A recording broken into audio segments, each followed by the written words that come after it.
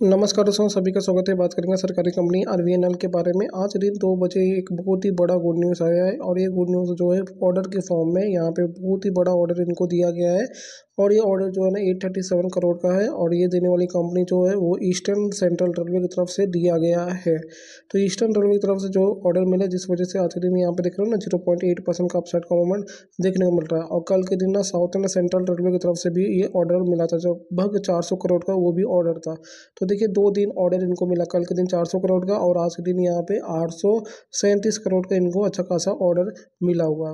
अभी इनको करना क्या है तो वही सेम चीज़ इनका ऑर्डर रहता है, वो है ट्रैक लाइन सिस्टम सेटअप करने को लेकर और लगातार यही ऑर्डर मिलते रहते हैं। अभी क्या करना चाहिए तो देखिए इनके ऑर्डर बुक बहुत ही तगड़ा है, निकली यहाँ पे टेक्निकल वीकनेस हमको देखने को मिलती है, लगातार छः सौ अस्सी के लेवल से कंटिन्यू लोअर लो पैटर्न करते हुए गिर रहा है।